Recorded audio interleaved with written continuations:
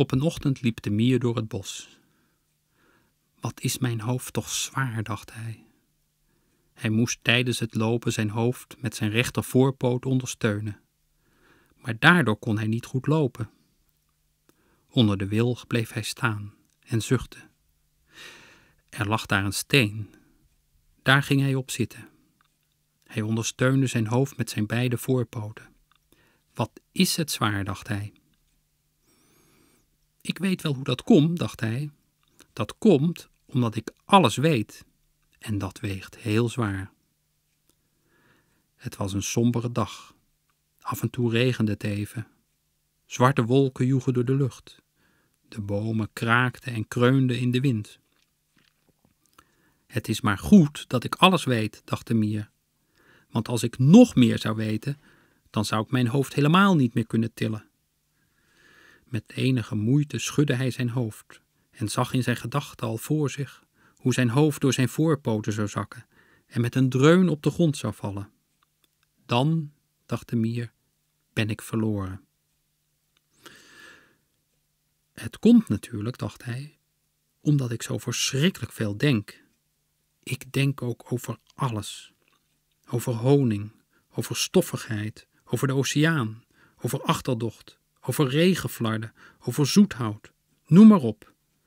En dat zit nu allemaal in mijn hoofd. Zijn ellebogen werden moe en langzaam gleed hij van de steen af. Hij lag tenslotte op zijn buik, met zijn kin op de grond. Zijn hoofd was nog iets zwaarder geworden. Ik weet nu dus blijkbaar iets wat ik daarnet nog niet wist, dacht hij. Maar nu weet ik dan toch ook echt alles, hoop ik. Hij merkte dat hij zijn hoofd niet meer kon schudden en ook niet meer kon knikken. Zou ik nog kunnen glimlachen, dacht hij. Hij probeerde het en hij voelde een flauwe glimlach op zijn lippen verschijnen. Maar geeuwen kon hij niet meer en ook niet fronsen en zijn tong uitsteken. Zo lag hij daar in het midden van het bos op een sombere dag in de herfst. Omdat hij alles wist, wist hij ook dat de eekhoorn die middag toevallig langs zou komen. Mier, zei de eekhoorn verbaasd, toen hij hem daar zo zag liggen. Wat doe jij daar? Ik kan mijn hoofd niet meer bewegen, zei de mier. Waarom niet? vroeg de eekhoorn. Ik weet te veel, zei de mier. Zijn stem klonk ernstig en bedrukt. Wat weet je dan te veel? vroeg de eekhoorn. Ik weet alles, zei de mier. De eekhoorn keek hem met grote ogen aan. Hij wist zelf wel iets, meende hij, maar hij had zo'n vermoeden dat hij veel meer niet wist dan wel wist. Daarom is mijn hoofd natuurlijk zo licht, dacht hij, en hij zwaaide het moeiteloos heen en weer. Wat nu? vroeg hij. Ik vrees, zei de mier, dat ik iets moet vergeten. Dat leek de eekhoorn ook het beste. Maar wat moest de mier vergeten? De zon? De smaak van honingtaart? De verjaardag van de walvis? Zijn winterjas?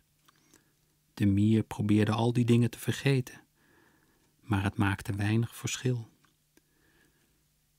Misschien moet je mij maar vergeten, zei de eekhoorn tenslotte, heel voorzichtig. Jou, zei de mier, dat kan toch? De mier knikte. Hij sloot zijn ogen en plotseling vloog hij omhoog, alsof hij een veertje was in een vliegende storm. De eekhoorn deinsde achteruit. De mier verdween bijna uit het gezicht, boven de bomen. Toen viel hij weer op de grond. Ik was je echt vergeten, eekhoorn, zei hij, terwijl hij met een pijnlijk gezicht over zijn achterhoofd wreef. Maar opeens dacht ik weer aan je. De eekhoorn keek naar de grond en zei: Het was ook maar een voorstel. Ja, zei de mier. Hij zat op de grond, maar door de klap was hij vergeten dat hij alles wist, en tot zijn verbazing stond hij plotseling op. Even later liepen ze samen door het bos. Ze zwegen een tijd lang. Toen zei de eekhoorn: Ik heb thuis nog een pot beukenhoningen. Ach, zei de mier, dat wist ik niet. Hij maakte een sprong in de lucht van plezier en holde alvast vooruit naar de beuk.